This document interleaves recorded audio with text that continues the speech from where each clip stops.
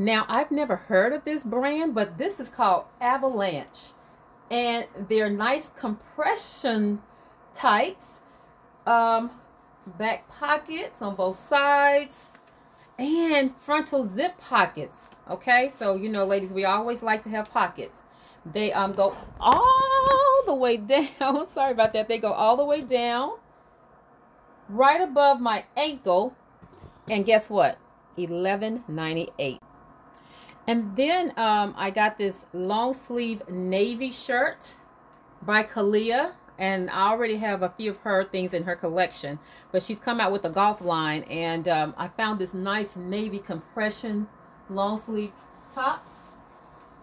Only $14.98. And I was able to find it in the white as well. Look, honey, these things are regularly $60 at Dick's.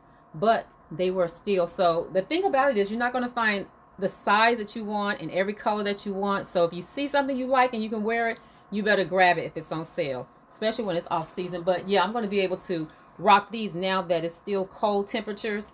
Yeah, so this was a good good choice.